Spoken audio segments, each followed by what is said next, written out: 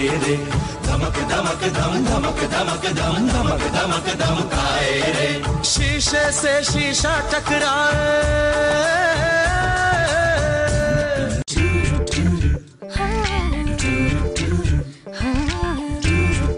के सामने बैठना है, आप विकेट कीपर हैं, आपको पीछे बैठने की भी आदत है।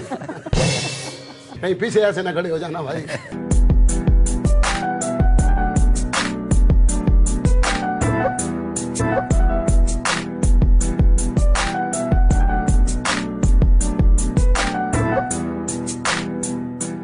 आज की मेरी पहली मेहमान एक ऐसी खातून है